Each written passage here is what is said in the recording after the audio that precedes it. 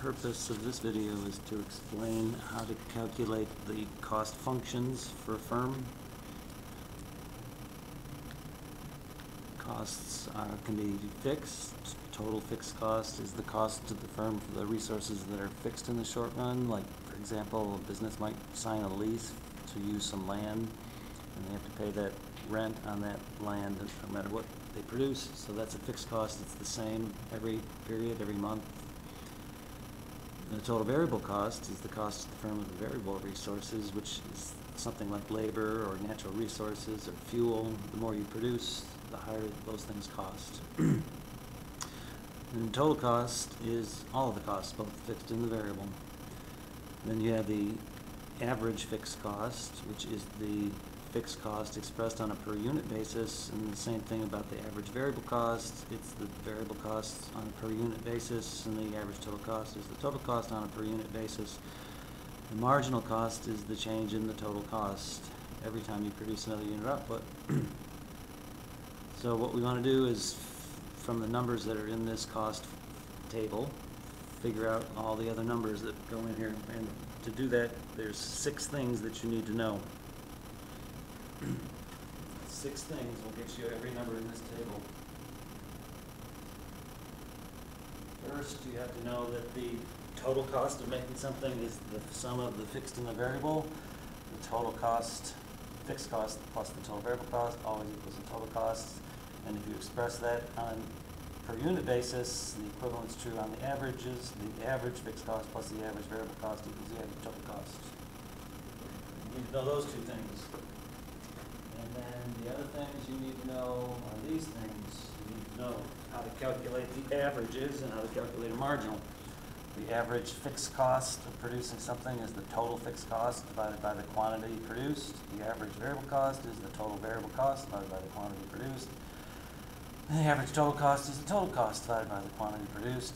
The marginal cost, MC, that's the change in the total cost divided by the corresponding change in the quantity.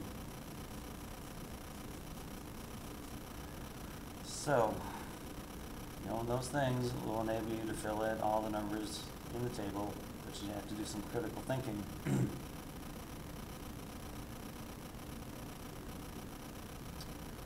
So the first things that I notice in the table is that when output is zero, one, or two, I know what the fixed cost is and I know what the variable cost is. So using this formula up here in pink, I know what the fixed cost is, I know what the variable cost is, all I have to do is add them together to get the total cost. So that should be pretty easy to do. Fixed plus the variable equals the total.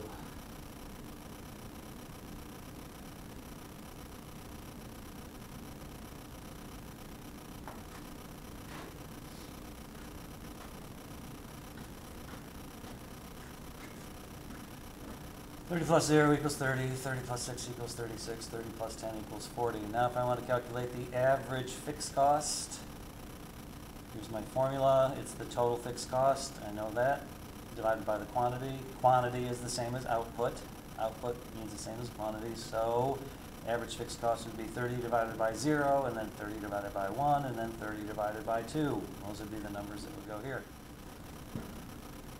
30 divided by 2 is 15, 30 divided by 1 is 30, 30 divided by 0 is undefined. You can't divide by 0, so I'm just putting a mark there because there's nothing that you can put there that would be correct. It's undefined. You can't divide by 0.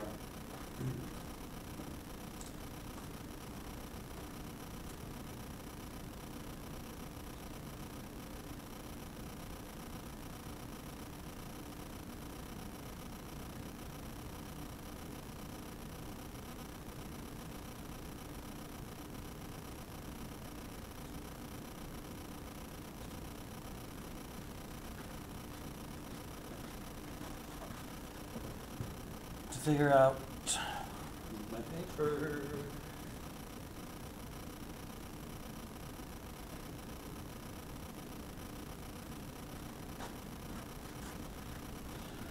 To figure out the average variable cost, here's the formula for the average variable cost. It's the total variable cost divided by the quantity. Six divided by one is six. Ten divided by two is five. And then the average total cost is the total cost divided by the quantity.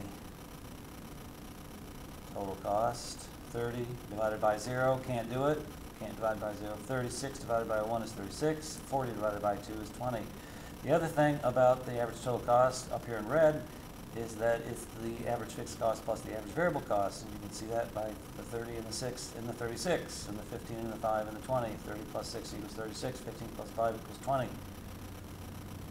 So when you're doing this, you should get average total cost the same whether you apply this formula or whether you apply this formula. You should get the same number. If you don't, you did something wrong.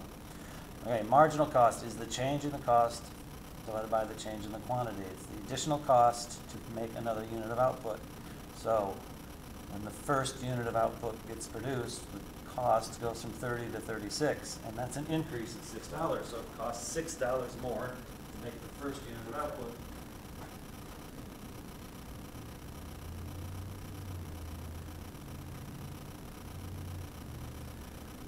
And it costs four dollars more to make the $4 more to make the second unit of output because when the second unit of output is produced, the cost goes from 36 to 40. That's an increase of 4. So now we're on the third unit of output, and we want to know, we want to fill in the rest of the numbers in this row where output quantity is 3. So the first thing is what is the total fixed cost of making 3? list that fixed cost is the same no matter what the output level is. So if we know the fixed cost of making two, we know the fixed cost of making three, and the fixed cost of making four, and the fixed cost of making five, and the fixed cost of making six. And I'm just going to leave off the dollar signs just to keep things cleaner like I've been doing. So now I can, should be able to do the rest of that row Total cost is the fixed plus the variable, thirty plus eighteen is forty-eight. Average fixed cost is the total fixed cost, thirty divided by the quantity, thirty divided by three is ten.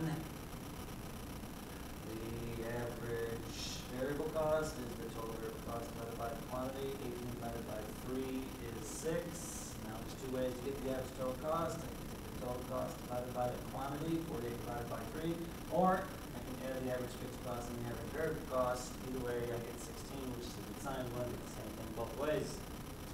Now, the marginal cost is the additional cost to make the third unit of output. So when the third unit of output is produced, costs go from forty to forty-eight, that's an increase of eight dollars, that's the marginal cost. Now it gets tricky. We're at the fourth unit of output. And we know what the total fixed cost is, and we know what the average total cost is.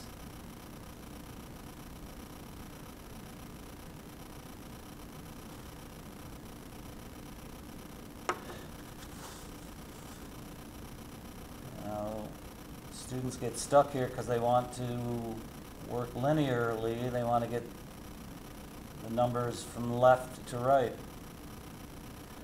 But there's no way to figure out the total variable cost, you gotta figure out the total cost first. Since you know the average total cost, you can figure it out using this formula for the average total cost. That's how you calculate the average total cost, total cost divided by the quantity.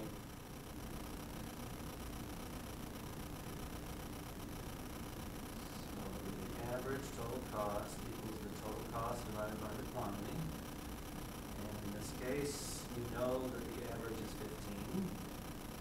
So that has to equal whatever the total cost is divided by the quantity, and we know the quantity is four. So the total cost has to be the number that when you divide it by four, you get fifteen. And that's gonna be the same as four times fifteen. So the total cost has to be sixty.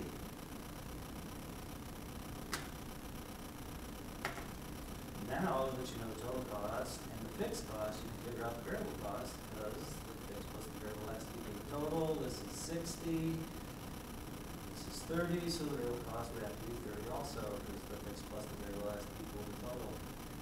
Then Then you divide everything by four, You calculate your averages, thirty divided by four, thirty divided by four again.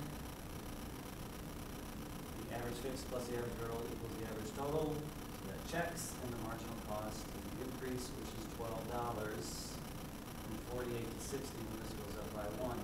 Change in total cost, or the change in quantity, the change in quantity, the way this table is set up, is always one.